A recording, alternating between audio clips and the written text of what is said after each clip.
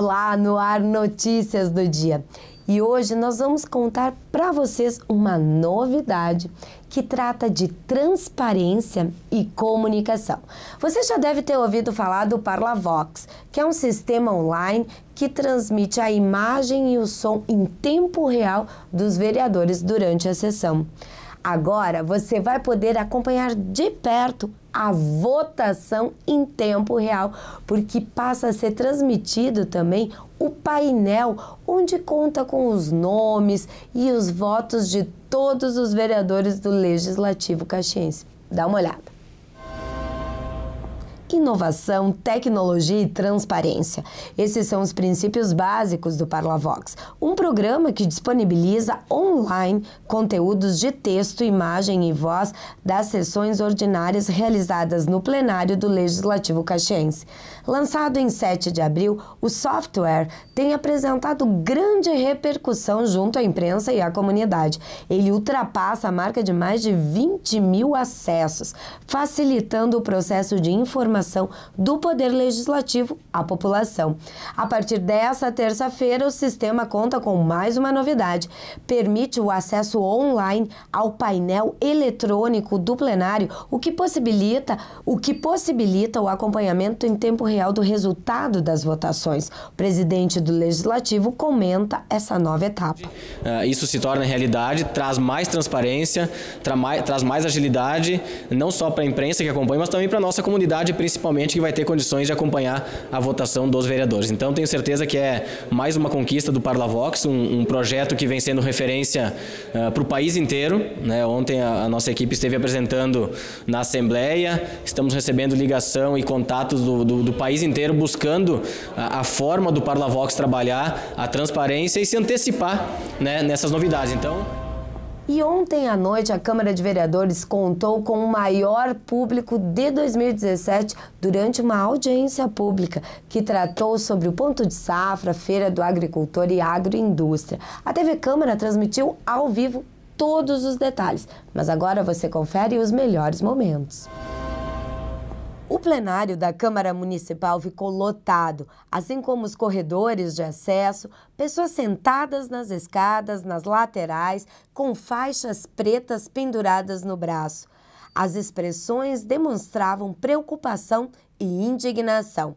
E os cartazes com palavras de ordem como a colônia também faz parte da cidade retratavam os motivos que cada uma dessas pessoas de todas as idades, velhos, mais jovens, homens e mulheres, queriam na noite de segunda-feira serem ouvidos e assim mostrar sua insatisfação diante de uma nova solicitação vinda da Secretaria Municipal da Agricultura.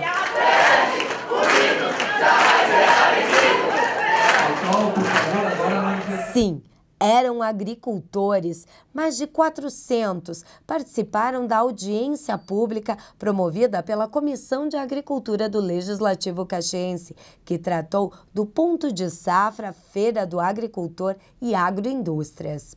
A maior parte do público era contrário a um comunicado do executivo, que dizia que a partir dessa semana, do dia 15 de agosto, alguns produtos coloniais como pães, cucas, mel, vinho, vinagre e também alguns produtos descascados só poderiam ser vendidos se comprovada a procedência. Em sua manifestação, a secretária municipal da Agricultura, Pecuária e Abastecimento, Camila Sandri Sirena, justifica a fiscalização citando leis, decretos e o Código de Defesa do Consumidor eu trouxe para vocês aqui então as legislações que estão previstas para que a gente siga dentro desse regulamento e dessa lei.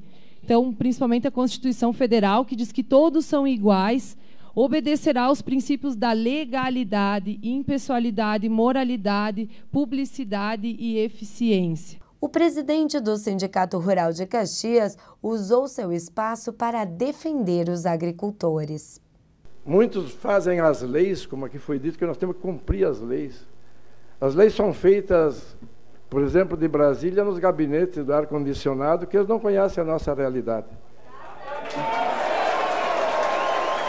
O presidente do Sindicato dos Trabalhadores Rurais defendeu a flexibilização das normas e solicitou mais atenção por parte da prefeitura. A, a mobilização de vocês aqui foi é, tão grande que nós pod podemos hoje chegar aqui e construir uma solução para os nossos problemas, principalmente que se refere à nossa agricultura familiar.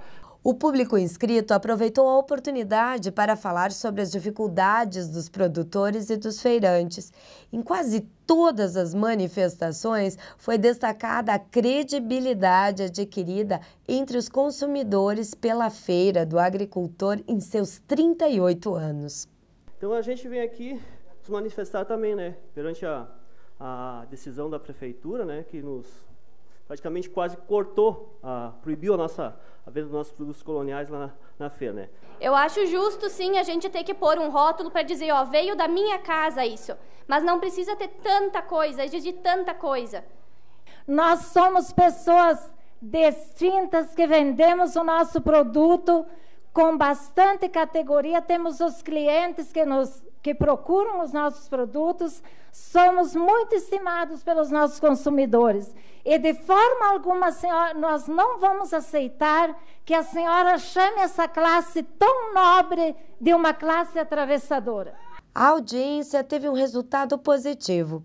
A secretária informou que será formado um grupo de trabalho para, durante 30 dias, debater a fiscalização dos produtos vendidos na Feira do Agricultor.